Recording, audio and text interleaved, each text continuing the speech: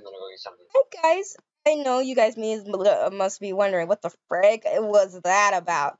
Okay, so everything that that happened was a role play. Okay, so everything you saw is not real. It's just it's just a role play. Okay, guys. Um, part four.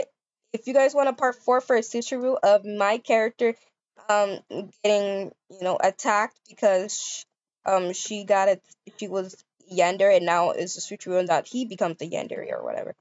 If you guys want that, comment down below and I will do another part. I'll do a, part four. So, um, hope you guys like and subscribe and comment down below. Bye, guys.